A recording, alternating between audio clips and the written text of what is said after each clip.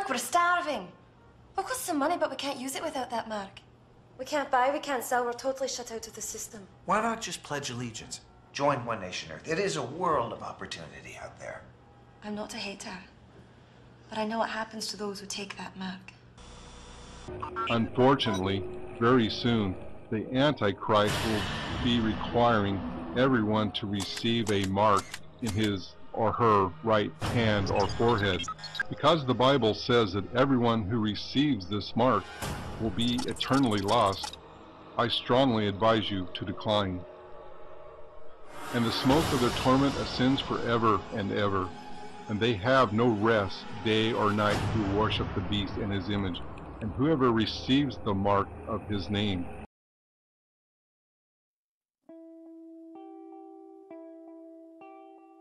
My dearest children, in my son's previous video, you were shown the Illuminati's presidential pentagram. You were shown that the beast has used the political system of the world's most powerful nation, as his bully pulpit, against the children of God.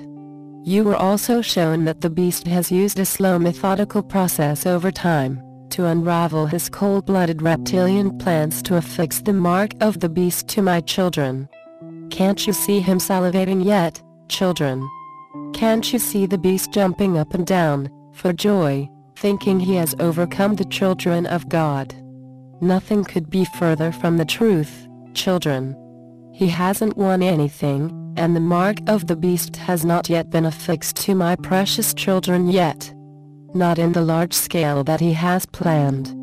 The purpose of this message is to teach the children of God how to Overcome the Beast, with his long five presidential bids to destroy the children of God, and to also show the children of God, the last Christ-centered man, who has held a presidential post within the United States government. Please take the contents of this message to prayer, children. Take everything to prayer, as it is written in my holy word. We are no longer a Christian nation. We are no longer a Christian nation. Every one of you out there that ever thought he was a holy man, knowing better. He is saying that a personal relationship with Jesus is dangerous. Gesù è uno spirito. Gesù non è uno spirito. Gesù è una persona, è un uomo.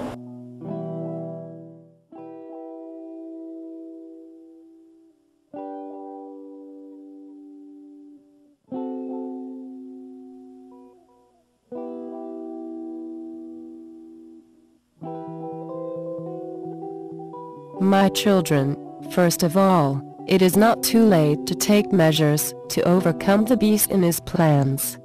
It is true that the end of the church era is upon you, but the enemy wants all of my children be placed in a corner, and to not feel they have any other options.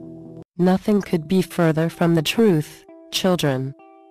The children of God always have options, because all things are possible with God. I am a God with no bounds. I have no limits. I am your eternal Father too. Allow me to give you the keys to overcoming the beast, and his end times plan against my children.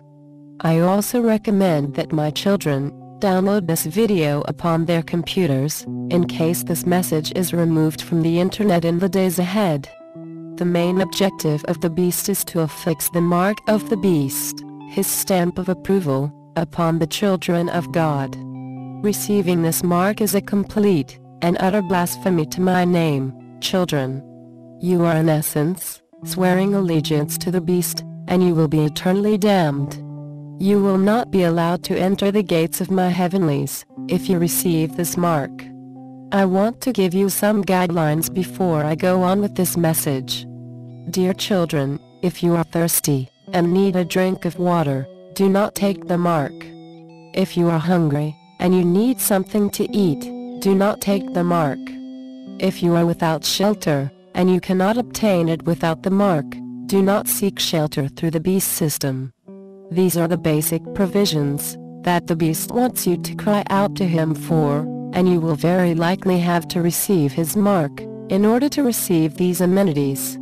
Allow me to review my holy scripture regarding taking the mark, and the ultimate outcome, dear children.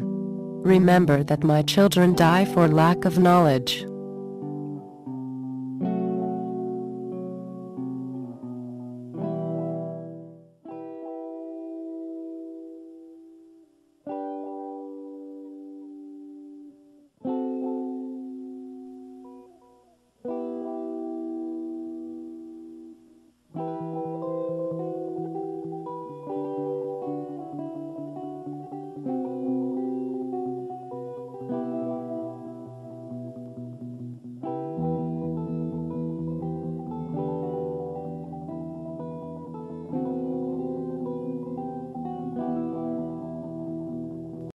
My children, my holy word could not be any clearer on this issue. No matter what circumstance you are faced with, or your family is faced with, do not go to the FEMA camps and receive their assistance, because once you are taken into their custody, their ultimate plan is to affix the mark upon you. Hear your Lord and Savior this day, my precious children. We are at the end of the church era, and the enemy is ruthless, and plans to take your life if you do not take this mark. This time period will take place after the rapture of the bride of my son. Hear me, my precious children. This time is now upon you. This time is only days from now on your earthly calendars. Please bring this topic to me in your prayer closets, and allow me to speak to your hearts. The rapture of the bride is imminent, my children. Please be ready to overcome the beast, by being ready for my son's soon arrival. My son will come, and collect his holy children in order that they may escape all the plans of the beast upon your planet. He is a loving father too, and he longs to bring his holy children home. If you are living as a lukewarm child of mine, it is time to make a decision who you will serve now. Do you want to be left behind to endure the worst time period the earth has ever known, or do you want to escape the horrors of the Great Tribulation? Decide now children. The hour has crept up upon you. The peace accord's public signing will be the first action that will cause a reaction from my heavenly throne. Once the peace accord is publicly signed, I will begin dividing the land of those who have participated in dividing my holy land in Israel. As you watch the news my children, you see that the hour is upon you. If you are not seeing that you are in the last days, children, please come before me on your knees and ask me to show you. I will find a way to open your spiritual eyes, and your spiritual ears. This is something that I do for my holy children that cry out to me and my son. Ask us to give you eyes to see, and ears to hear what the Spirit of the living God has to say. You will be shown then. I love you all my precious children, and I want no one to be left behind. No one. In the second part of this message, I want to pay a tribute to my son, Dan Quayle, who truly was the last real son of mine serving in the highest office of the United States. He surely was. He was the shining beacon that I sent to Washington, and the beast tried at every corner to discredit him. He did not overcome my son, Dan. My son went to Washington and served his Lord and Savior well.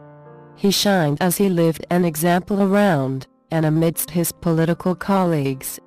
He always demonstrated his sincere love for his Lord, both in public and in private. He was genuine, and had a heart to do what was right for the children of God living in the United States. I want all of my children to know how very proud I am of my son, Dan, at the end of time. I want to also send him a warm hello from my heavenlies. My son, Dan, you have served your Creator and His Son so very well. I have many treasures for you stored up here in my heavenlies. Jehovah God